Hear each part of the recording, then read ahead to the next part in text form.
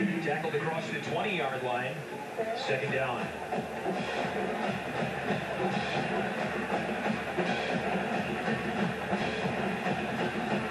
Last chance for Notre Dame to make an argument without a conference championship game to play in.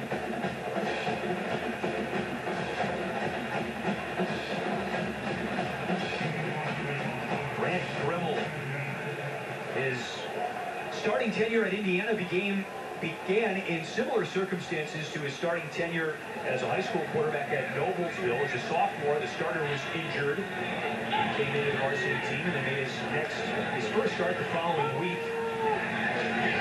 Here's the Spiegel again, who's crushed. And third down coming up. We have college football extra presented by Crypto.com. Coming up next, Mike Hill, Chris Petersen, Bruce Feldman out in Los Angeles. You almost need two shows or, I don't know, a double show with all of the action there's been across the country today.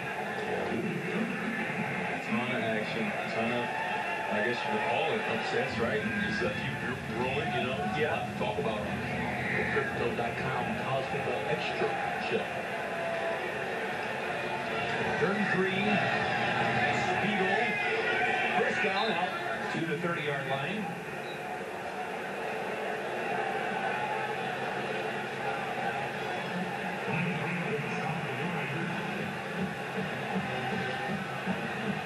Season began with so much promise for the Hoosiers. They were ranked in the preseason top 25 for the first time since 1969.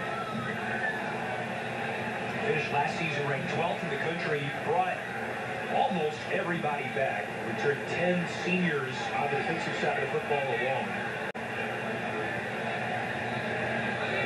The core of the culture is still in place for Tom Allen, however. Xavier Urban Poindexter on first down. Was tackled on the play by Marks, his second tackle of the game. And as the cheers grow louder, the hunt is really on now for the briefcase that contains the old oaken bucket. It's believed that the bucket dates all the way back to the 1840s. It was discovered on a farm, the Bruner Farm in southern Indiana in the mid-1920s by delegates from the Chicago alumni groups of both schools. Jeff Brohm has won his third Old Oaken Bucket game. He gets a nice bath. This game is over. Purdue with its eighth win of the regular season, and there she is, the Old Oaken Bucket. Raise it up there, fellas. Boilermakers earn it this season. Thanks for joining our broadcast. We hope you enjoyed it. Happy Thanksgiving. For Devin Gardner, I'm Chris Foster.